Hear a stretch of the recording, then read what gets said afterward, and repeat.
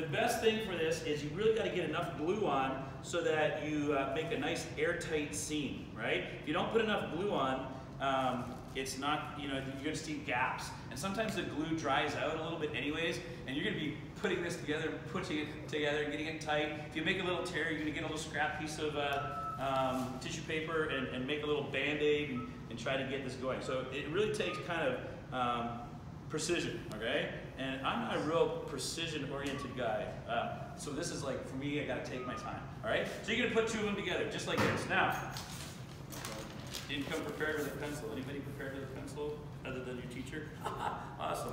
All right, so what I'm expecting is once you get five of these put together out of 10 sheets, you're going to get, you're need to have two gores per, per sheet, okay? This is what I mean by a gore, okay? This is the gore template. So the gore is from the top to the bottom, and then they sew all the gores together, and, and that's how they make their hot air balloon, okay? So what you're gonna do is, you could, you, in theory, if I trace this, okay, and we get going,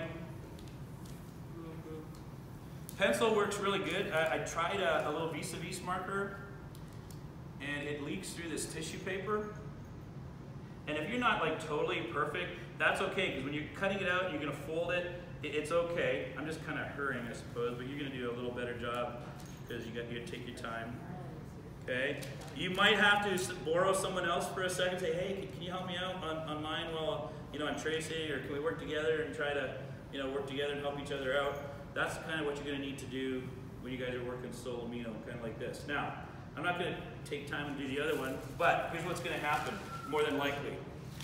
We've discovered that the template is wider here than the width of two sheets, but I don't want to go through twice the amount of tissue paper, right? We'll, we'll run out of tissue paper. So here's what's going to happen. You should be able to get two out of this one sheet, just like this, all right? And what's going to happen is it works here, but you see there's a little bit of an overlap. So I'm going to kind of show you what this looks like right here and what you can do. Okay, some people are worried about that step when they discover it. So that's kind of my overlap. You know, what you could do is you can cut on the line and make it really narrow, but then it kind of makes it kind of go like this a little bit. So what I would simply do is just split the difference, okay? And kind of go right up the middle when you're cutting them out and, and kind of, you know, be able to do something like that. Once you get them all out, when we start folding it together, you can hide some of these imperfections. And when you, when you fill it up, uh, you're not going to see the joints. All the joints are going to be on the inside of your hot air balloon, and it'll look good. Okay, so you won't notice that little little bit of difference. That's like what half an inch.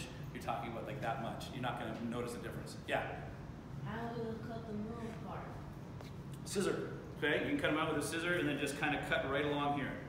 Okay, right down then cut this one out and do it. So you can come up with 10. So today, really, in the time we have, you're probably just mass producing these, these things, getting them glued together. We have enough templates over there on the cart. We have scissors.